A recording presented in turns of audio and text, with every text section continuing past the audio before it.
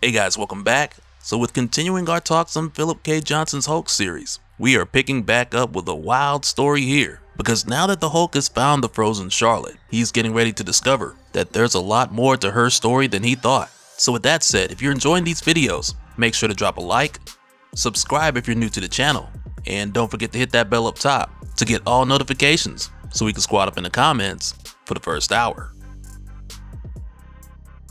Alright, so coming back, we pick up after the hulked out murder mystery that led the Hulk right to the frozen Charlotte, who just might be the creepiest creature I've seen the Hulk fight in a long time, because for well over a hundred years, she's been in New Orleans taking the souls of children and trapping them in little porcelain-like dolls, and who knows how long she's done this in other locations prior to this one. And now with the Hulk finding her underground lair, which is also referred to as her sanctuary, He's now got to figure out where exactly Charlie is so he can get her out of here. And as it stands, all the Hulk really has to go off of is the voice of Charlie, who's just popping off right now from a distant room and telling the frozen Charlotte to let her go. But right here, when we go back to the Hulk, who's currently fighting this creature, it's here where we find out more about what exactly he's up against. Cause prior to this, she made it clear that her true name is Nephilim, the mother of angels, and this is her sanctuary, though the Hulk may know her as the frozen Charlotte because up to this point, the Frozen Charlotte is what we were introduced to her as, because after she was discovered in New Orleans,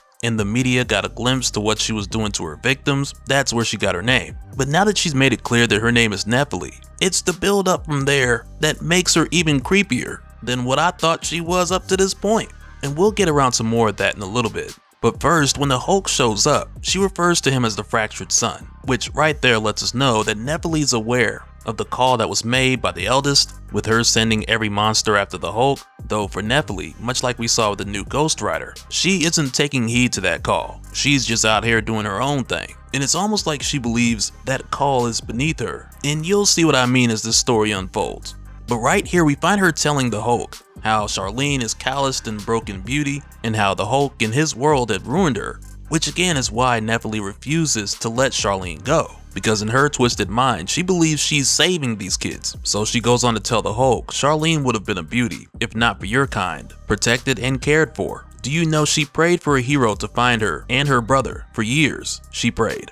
A soldier of virtue and the life of great deeds. She'd been a worthy squire, brave and true, but her prayers brought only beatings, burnings, death for the brother, and blame for her. And when God finally saw fit to answer her prayer, he sent you. So now this more or less has the Hulk like, what are you trying to say? That she's safer with you? Charlie's safe here? Like the rest of these victims? nah.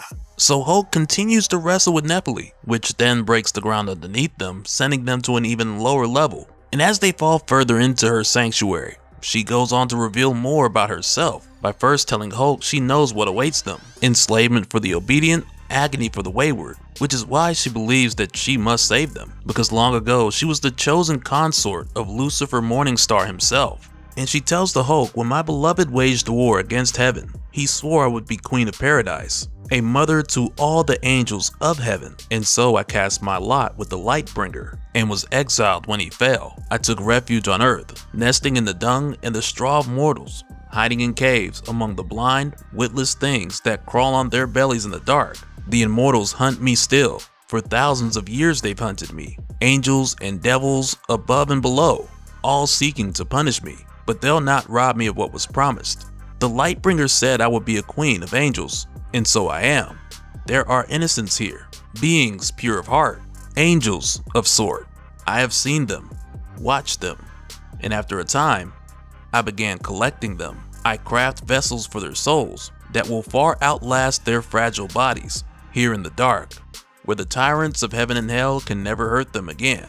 Which, yeah, all of that sounds a lot like the corruption of the Lightbringer, and not the hammer, but rather the story of Lucifer and his flaming sword. Cause not too long ago, we talked about the story where God created the flaming sword for Lucifer out of the matter of creation itself, with it recently showing up in the Bryan Hill Blade series and I have that linked down in the description for anyone who needs to check it out or get caught up. But long story short, anyone who uses the Lightbringer for too long, they'll be corrupted by the will of Lucifer, most notably his pride. But in this case with Nephilim, I'm pretty sure this has more to do with Lucifer himself rather than the sword that was named after him. Because even still, this would explain her false entitlement to a promise that she's held on to for millennia. which as you might imagine just makes for an insane amount of delusion. Hence the children being her angels and trapped into dolls. But at the end of the day, you know, after the Hulk hears this story, he's just like, I don't care. Shut up, you're stupid. I don't care about you.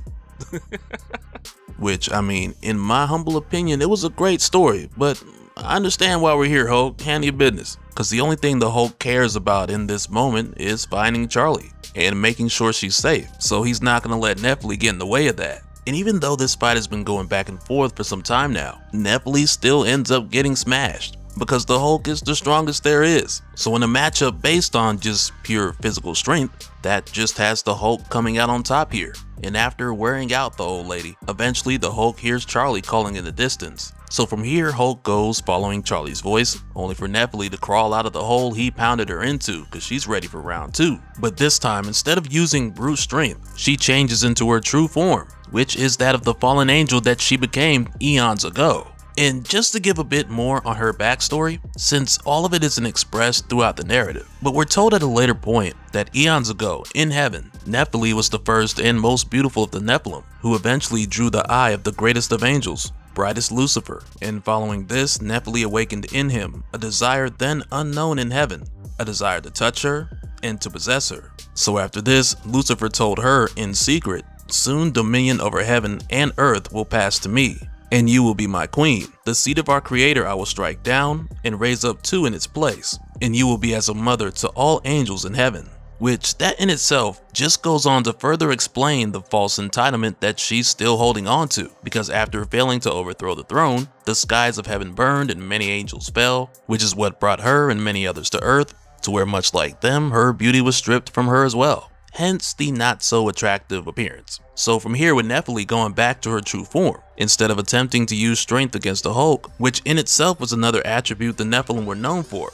their great strength. But again, with that not working here for her against the Hulk, with her breathing this white flame, that's depicted to be like fire, but also like ice because, you know, she is the frozen Charlotte. Though either way, with her attacking the Hulk with this, she ends up destroying a number of her dolls, who she also refers to as her angels or her babies, which immediately defeats the purpose of the whole protection thing she was talking about earlier. And after this, her sanctuary then opens up into what I can't help but to describe as a boss battle arena, because it gets pretty crazy here. Because her sanctuary just opens up and there's floating islands. It's it's wild. Like Bayonetta would have a field day here. And when this happens, Nephilim, she's doing her aerial maneuvers, only to find the Hulk right behind her doing his, which for him is just jumping from one floating island to the next. And eventually when he catches up with her, he lets her have it once again. And to go back to the whole boss battle analogy, I'd have to say that this moment here is like your QTE in God of War, where not only do you catch the button for the quick time event,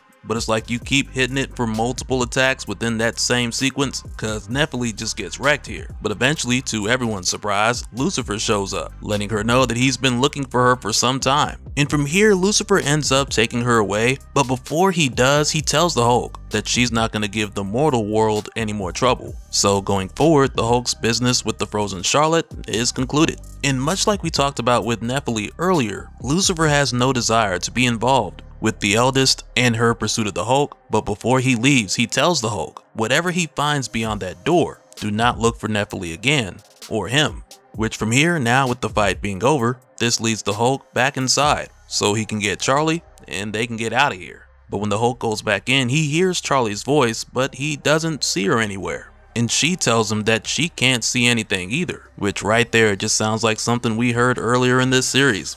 That was definitely not a good thing. So as the Hulk makes his way further inside, to his surprise, he comes to find that Charlie has already been placed in one of the dolls.